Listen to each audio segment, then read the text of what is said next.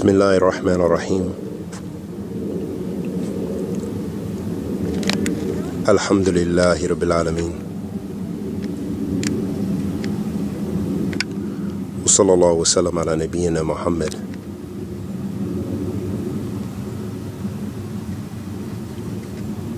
وعلى آله وصحبه وسلم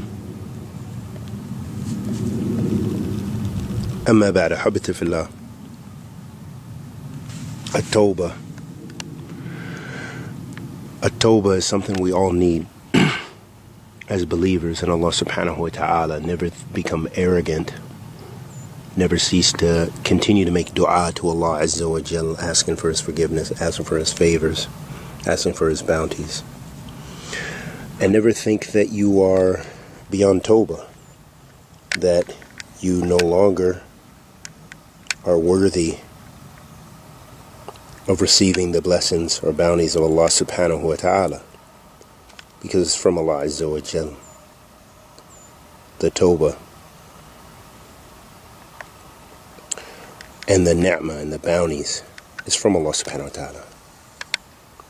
Allah subhanahu wa ta'ala says, إِنَّ الَّذِينَ اسْتَخْبِرُونَ عَنْ عِبَادَتِي سَيَدْخُلُونَ جَهَنَّمَ دَاخِرِينَ Allah subhanahu wa ta'ala says, Verily those who are arrogant with regards to my worship so in, shall enter Jahannam.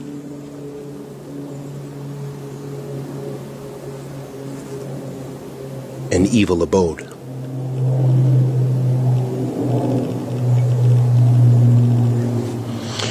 So, being arrogant with regards to the ibadah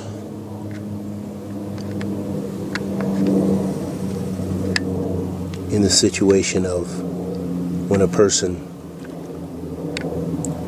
fails to supplicate to Allah subhanahu wa ta'ala and ask for his bounties. So seek from Allah Azza wa Jal. And never become arrogant and think you're above ibadah or you're above making tawbah or istighfar. The Prophet ﷺ made istighfar more than 70 times a day. Sallallahu alayhi wasallam, and he was the Prophet alayhi salatu wasalam. عن العزي عن العزي بن يسار المزني رضي الله تعالى عنه قال قال رسول الله صلى الله عليه وسلم يا أيها الناس توبوا إلى الله واستغفروه فإني أتوب في اليوم مائة مرة. رواه Muslim The Prophet sallallahu alaihi wasallam said O mankind يا أيها الناس يا أيها الناس توبوا إلى الله. O you mankind repent to Allah and seek His forgiveness. For verily, I seek forgiveness, or I seek repentance more than a hundred times per day. And that's collected in Muslim, Sahih Muslim. In this hadith of the Prophet we see the importance of, of seeking forgiveness.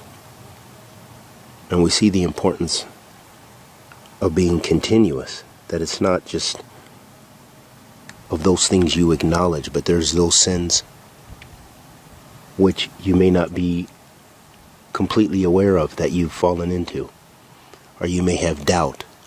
So, kathra, meaning a lot of istighfar, a lot of seeking forgiveness from Allah subhanahu wa ta'ala, is the characteristic of the mu'min. Astaghfirullah wa atubu ilayk And we ask Allah the Almighty to accept our good and forgive our evil. وصلى الله وسلم على نبينا محمد وعلى آله وصحبه وسلم